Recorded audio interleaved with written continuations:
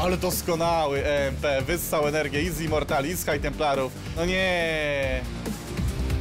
Kolos obalony, bardzo ładna kontrola Speciala, tutaj też dobrze Special wygląda, no nie, a Harstem jednak nie popisał się do końca. O, jakie to było dobre, jakie to było fantastyczne.